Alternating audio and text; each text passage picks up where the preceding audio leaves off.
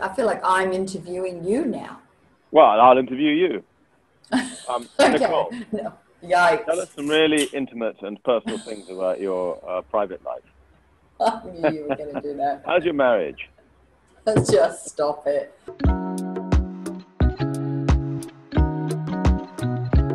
Uh, we met in our 20s, Hugh. Yes, we did. I would say, was it that dinner at the Ivy in London? Yeah, I remember a dinner with you Yes, and you were and Tom with Cruise. Liz. Yeah, and Elizabeth Hurley, and And my sister. My sister was there. yes, your And, sister with um, whom you spoke in a secret language. Mm-hmm. Yeah, You which still you do were that? very intrigued by. I still am um, to this day. Yeah, Okay. yeah, yeah. And you couldn't understand a thing. And we spoke for quite a long time, right? And you couldn't understand anything. And that was the Not first time. And then, and then we sort of crossed paths. And then I think there was something where um, I really wanted to. I think I really wanted a role in. Oh, maybe I was going to do a small role in Love Actually at one point, or I was going to do. Were you? Yeah, yeah. Which part? I can't remember. It was not a big role, and I really wanted the role that um, Julia Roberts played in um, Notting Hill. Did you? That's yeah, I did, but I wasn't well known enough, and I- wasn't talented enough. But um, yeah, That'd be absurd. so finally, Yeah. finally, our paths aligned, and um, Yeah, we had a lot of parties and uh, sort of awards things and things like that. I remember always seeing you. And then I we feel have like a we photo. What about that weird photo that you showed me? what? There was a photo that you showed me of us all at some some. I thought it was the Golden Globes or somewhere, and and I couldn't remember where it was taken. Don't you remember seeing that? Yeah, vaguely. And I, I couldn't remember it. Yeah. My my memory's a bit shot. You smoke a lot of pot. So, yeah, Con- I think that's the problem. constantly stoned. Yeah, yeah. I wake up and I That have was a a split. it was an issue on our filming. Um, but Oh, don't you're. It's now going to go down. no. so- You No, that's not true. cannot not true. say anything in jest. no, that that was a joke. It's not true. Um, yeah, and then I always feel like we worked Can't together because we were in Paddington. So everyone always says, yes, we were the two Yeah. villains. We're gonna we're gonna have our own film as the two villains. We'd actually be that would be kind of entertaining. I agree with you. I, I regret that we didn't put Paddington in The Undoing, just in the background of one shot, when you got the extras passing by and Fifth, Fifth Avenue. Paddington just should have walked across the shop while you and me are having a big fight about something. This is what rich, entitled people do when threatened. They conceal the ugly truths to protect themselves.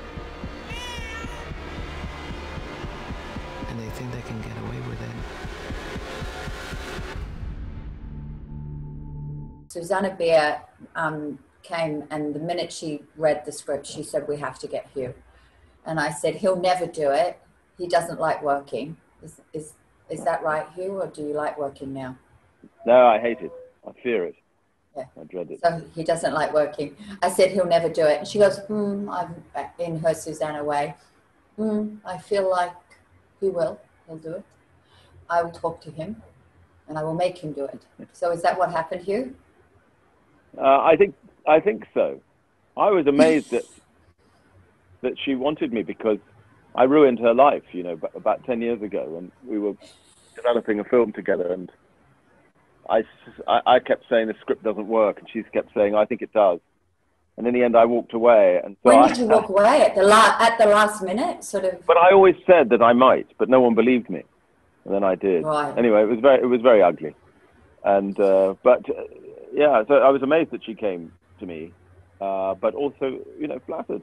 Christ, she's uh, uh, a brilliant director. Her Danish films I've always loved. Then there's you, dripping with your Oscars. Then there's you know David Kelley. It was a very high pedigree thing. Uh, yeah, but I you still still managed to- danced. You still danced around a bit. I did, I did, I did. I had issues. Partly, I think it was. You're hard to get. which- well, it's hard to get anyone if you only give them one script out of six, so you don't know what's going to happen and what's going to happen to your character. I, You I, have think- to I think I was trust us. entitled to be difficult about that. Yeah, yeah. You weren't difficult. You were never difficult. You're just in, extraordinarily talented and intelligent. Right, yeah, yeah, yeah. Say thank you. Thanks, Nicole. That's very nice. So now, and what else can we fun. And really fun, may I add. Which, when you're doing I something think like we we really almost good. had fun some days. I think we did. I think we did. Or I had fun. I almost miss it. Yeah. Yeah. No. And also now with everything that's happened, really missed it. You, you had your family with you, which was, I think, very sensible. I thought, oh, this is a fantastic Yeah. opportunity to get away from my screaming children. So I left everyone in London. And then as soon as I got to New York each time I came out to film, I missed them so much. It was, it was awful. You were I remember almost every scene I acted in made me cry. I remember Susanne Bier having to say, Hugh, it's, you're only asking for a cup of coffee, so maybe tears are not appropriate. no, I know. And you would be flying back and forth. New York, yeah, yeah, London, New crazy York, jet London. lag. I was like, what are you doing? And why? Why did you choose just that you just felt like I, they were going to come at one stage, but we were there for so long. I mean, it took five months to shoot this thing. And we shot the whole thing out of sequence, which was also pretty. I mean, talk about having to be rigorous with the story and with the performances, right? I found that really hard.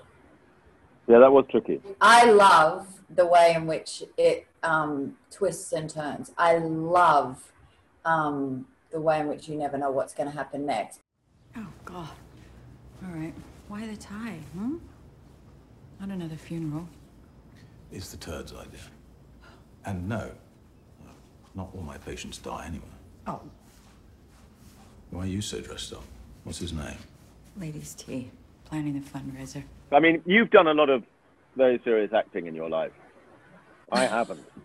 I've been been more worried about sort of making silly little jokes work. And I don't know which is worse or more stressful to, to try and make, keep something light when you're, you know, in the 14th hour of filming in some location where you're losing the light and everyone's in a panic, or whether it's trying to summon up emotions. It was watching Meryl Streep when I did that Florence Foster Jenkins thing, and she said, you know, I made a promise to myself I'll never do an emotional scene where I haven't actually got myself into the emotion first. I thought, Christ, that's a big ask. But I, I did try. And you do it. You definitely do it.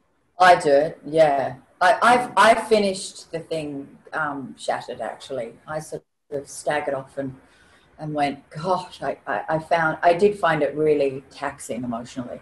That was me. Um, but we were able to uh, share the load. I mean, we had some fantastic actors, right?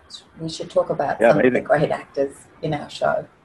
Yeah, Lily, everyone. Lily Rabe. Edgar, Matilda. Yeah, Matilda was brave. She showed up, astonishing. right? Do you know what my wife said? And in the first the week. series? Yeah. Sorry. Sorry. Well, they are all Yes, brilliant same. no question about that. But my wife, what she noticed, she said, "Well, they're all so hot." And I think that's either a, a Susanne thing or maybe it's you as the producer. But she fancied every man and every woman in it. That's Edgar, good. oh, She- he's hot. that- Well, yeah. I said, well, hang on, what about me? That's th- then that. yeah, yeah. No, you're you you've been moved out. Yeah. we just got lucky. We got lucky with our cast. But I'm glad that your wife thinks they're all hot. I'll pass that on. She loves the whole series, and she hates everything I've ever been in. And Keith loved the whole series and is brutally honest. So that's good. That's the He's other thing, isn't it? Honest. Oh, he's brutally honest, yes. Oh yeah, yeah. He'll fall asleep. asleep. He didn't fall asleep. He was. He just kept saying, "When can I watch the next one?" And I kept saying, "Well, not tonight, not tonight," and kept begging for another one, which was kind of nice being able to have him. No, but don't you worry sometimes that you're raising your son in a bubble? I thought that was the whole essence of modern parenting, isn't it? Keep them protected from reality for as long as possible so that when they finally emerge, they can't cope and end up self harming. Was excited to see you every day. yeah, yeah. Well, likewise. I was. I really enjoyed you it, were and I very. Remember. tell you what you are. You were very uh, keen that we, in scenes, that we really talk to each other, and that's very good for me. because sometimes I disappear up my own arse, and uh, I think you're very very good at making us connect. So that was, yeah, that was well, I like you. Um, yeah, because there was something very relaxed, obviously, because we have, um, because I'm Australian and you're British, we have that Yes. um, similar, I don't know, there's just a, se- a sense of humor that, that um, I don't know, it just is, it's good chemistry. Between takes, I quizzed you on every detail of your private life, past and present, and you were amazingly forthcoming. I remember because I tweeted everything afterwards. Great. It'll, it'll be going in your book, right? Yeah, we're going about Didn't this. we? Yeah. We taught, yes, I did. I trust Yeah. you. I Yeah. don't know. I told you I mm, like you, so I opened up to you. But that's also part of working together. I think when you really click, then you sort of sit and you do talk and you share things and you open up. You're you're incredibly honest. I mean, you Yeah. say I'm always like, Hugh, shush, you can't say that. I know, I know, I know. But also, I missed that. See. I really missed that. I remember on this film, for the first time in years, I had no phone. I, I left my phone in the hotel every day. And so it was like the old days. I actually chatted to people. Really Yeah. nice. That's how Yeah. used to be. It's astonishing. And by the end, I never had a lot the of phone. friends. What's that? I never had the phone. Did you not? No, maybe you didn't. No. I don't Yeah. ever have the phone on the set. I can't. It's So you don't have it in the trailer either. Uh, I have it in the trailer because of the kids, but I'll never bring it on the set. I mean, there's some people that sit on the set with their phones. I know, between takes. Yeah. But it's but I found it also very nice not even having it in the trailer. It just wasn't around. It wasn't a thing. It couldn't get me. So nice. That's how life should be. I felt like blood flowed back into my body. And I would love to go um, on another adventure with you someday. Yeah, let's do it. Paddington Hmm. 3. Here we come. Yes, actually. We'd, we'd really, we'd, we'd get the bear. We would, we would get Not the bear. The bear wouldn't survive. That wouldn't, that would be, that would not do well. The film, the film would flop. If It begins with the death of the bear at our hands. right. It's dismembered and devoured. Oh God.